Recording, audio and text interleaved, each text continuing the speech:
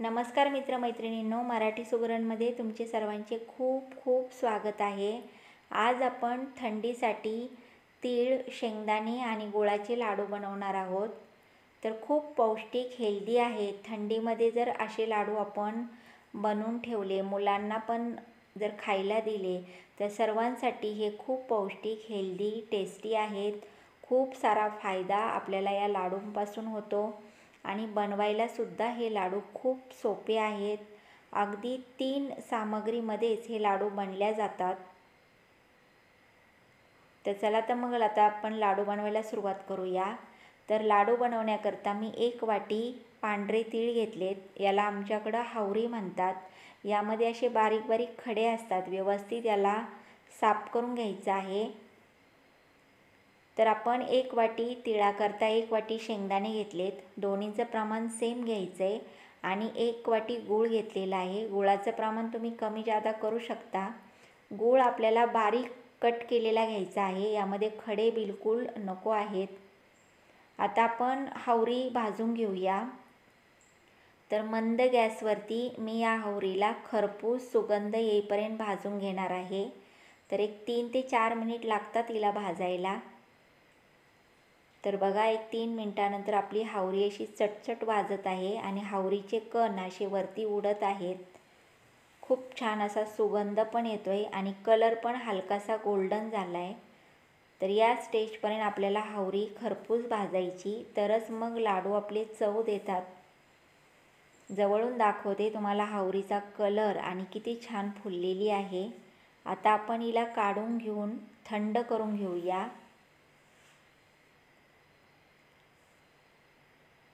आता याच कढईमध्ये आपण एक वाटी शेंगदाणे भाजून घेऊया. शेंगदाणे भाजायला थोडा वेळ लागतो परंतु मंद आचेवरच भाजायचे आहेत. तरच ते खरपूस भाजल्या जातात आणि मग लाडू पण चविष्ट लागतात खायला. तर एक सहा ते सात मिनिट लागतात यांना भाजायला. जर तुम्ही फुल गॅस केला तर शेंगदाणे पटकन भाजल्यावानी दिसतील तुम्हाला पण आतमध्ये कच्चेच राहतील. तर बघा शेंगदाणे खरपूस भाजले की यावरलं टर्पल ॲटोमॅटिक असं जागा सोडतं. आणि शेंगदाणा असा आपण सहज हातामध्ये दाबला की लगेच त्याचे दोन भाग होतात. कलर पण छान गोल्डन येतो. आणि शेंगदाणे भाजले की खूप सुगंध पण येतो. आता आपण यांना काढून घेतले. आपले तीळ थंड झालेत. आता मिक्सरला आपण सारखं याला फिरवायचं नाही. तर चालू बंद चालू बंद करत रवेदार वाटून घ्यायचं आहे. जर सारखा मिक्सर आपण फिरवला तर या हावरीचं तेल येईल आणि असं चिगट चिगट हे मिश्रण बनेल. आणि मग लाडू जर आपण बनवले तर ते खूप असे ऑइली बनतील आणि खाताना पण टाळ्याला चिटकतील. तर बघा मी असं रवेदार याला वाटून घेतले. याला असं मोकळं मोकळं करून घेऊया. आणि याचप्रमाणे आपण शेंगदाणे देखील वाटून घेऊया. शेंगदाण्याचे मी टर्पलं नाही काढलेले. तुम्हाला हवं असेल तर तुम्ही काढू शकता. शेंगदाणे पण असे रवेदार वाटायचे. आणि जास्त पण शेंगदाण्याचे जाडसर कण यामध्ये नको आहेत आपल्याला. हावरीप्रमाणेच यांना वाटून घ्यायचं आहे. आता शेंगदाणे आणि हावरी आपण व्यवस्थित मिक्स करून घेऊया. म्हणजे एकजीव होईल. तर पाहिलं तुम्ही आपलं हे जे मिश्रण आहे बिलकुल असं तेलकट नाही बनलेलं.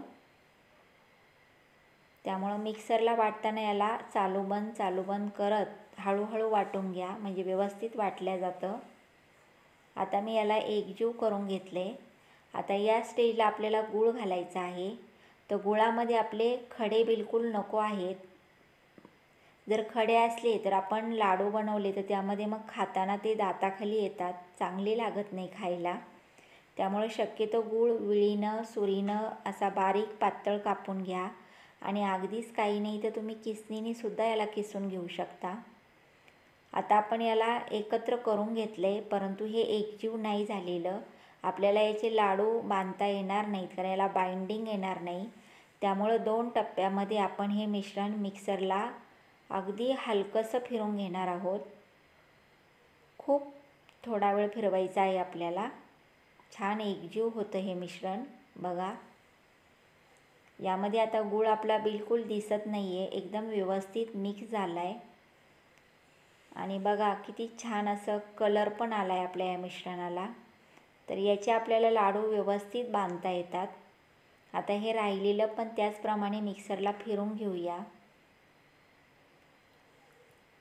तर तुम्ही थंडीमध्ये हे लाडू नक्की बनवा. खाऊन बघा.